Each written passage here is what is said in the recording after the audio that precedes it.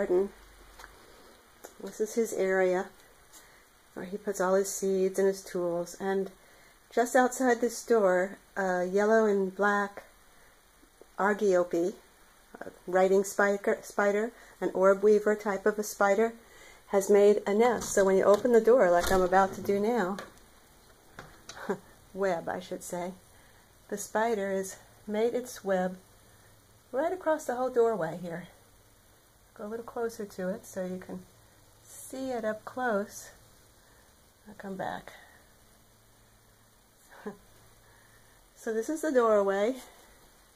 The only way to get out without breaking the web is to squat down low, go underneath the web like I just did, I turn around, look back into the house. Now I'm outside in his garden. Coming up close to him from the backside. I should say her, because this is the female. The male, he's way up on the top here. Way up here. He's much smaller. See if it'll come out clear.